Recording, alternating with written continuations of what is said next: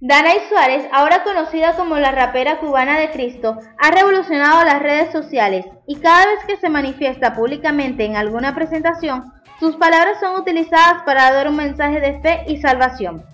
La cantante nacida en La Habana ha grabado tres ediciones discográficas, la última de ellas llamada Palabras Manuales, y desde que entregó su vida a Cristo hace dos años y a partir de ese momento comenzó a experimentar un cara a cara con Dios. Ahora sus declaraciones son producto de esa transformación y se presenta ante sus seguidores de forma transparente. Su sencillez y profesionalismo ha permitido grandes reconocimientos como el Grammy Latino. Danai no solo está siendo reconocida por sus mensajes, sino por ser una artista revelación.